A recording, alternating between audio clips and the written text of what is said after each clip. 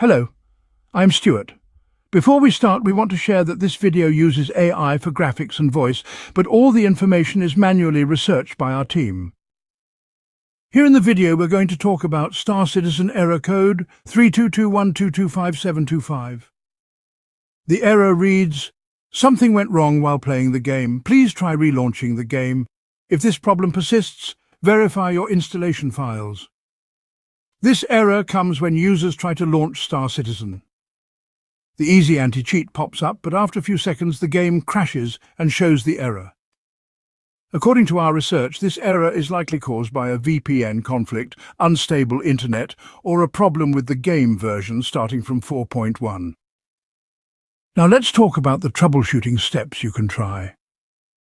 The first thing we suggest is to disable your VPN if you're using one, and then try launching the game again. If the error still comes, power cycle your device along with the internet. Then launch the game and see if the error still comes. If the error still persists, check if you need to update the game. Make sure it is running the latest version and then try again. If the error still continues, try connecting over a different Wi-Fi or mobile hotspot and see if this helps with the error. At last, if you still get the error, try verifying your installation files and then relaunch the game and check for the error.